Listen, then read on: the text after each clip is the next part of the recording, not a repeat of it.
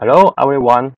In this video, I want to introduce a remote sensing toolbox, which is developed in Python based on the Qt platform. The source code for this toolbox is stored in three files. The code of most functions is stored in the first file, and the second file is used to store various parameters, and the third file is used to store code that relates to image download.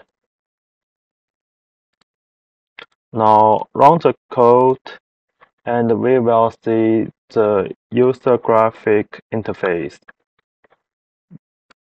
Due to, uh, due to Chinese internet firewall restrictions, users in China must set the port number before connecting to Google's server. And we can find it we can and we can find it in the Windows Network Settings interface. Then click the Connect button.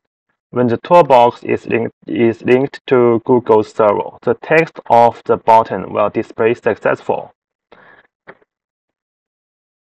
Now we can select the dataset in this combo box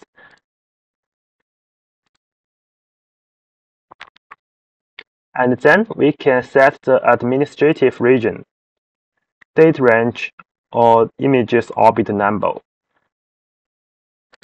Here are all the provinces in, in China.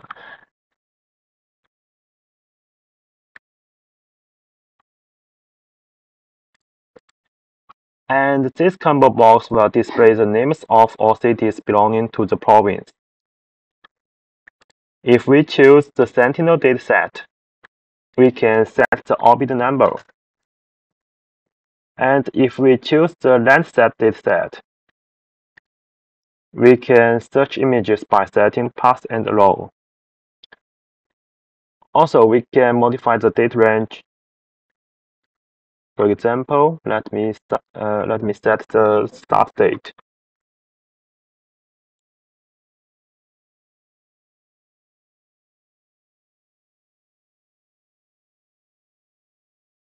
Then we click the search button, and the required images ID will be displayed in the lower left corner. We can single select or hold down the Ctrl or Shift button on the keyboard to make multiple selections.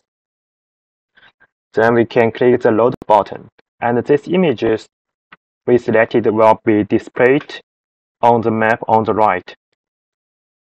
We can drag the map. Zoom in.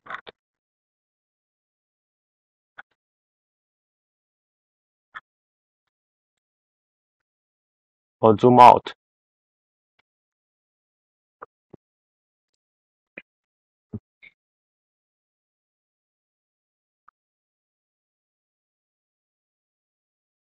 Also, we can view the NDVI of these images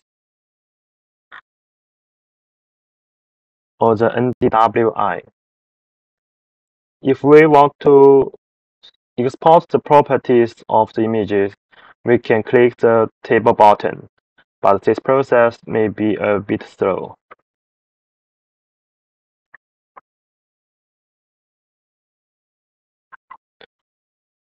If we want to download the download these selected images, we can click the download button and then the dialog will pop up. We can set the coordinate reference system, system and the resolutions of the, of the exported images. Also, we can choose the bands we want. NDVI and NDWI. When we click the Submit button, this toolbox will send request to Google's server, and, and then these images will be downloaded to root directory of our Google Drive. If you want to download the images to specified folder, enter the name of the folder into this text box.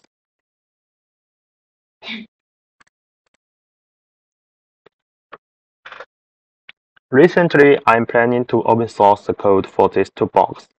But before doing so, I want to add more useful uh, I want to add more useful functions to it. If you have any suggestions for me, please leave a comment below this video. Thanks. Bye.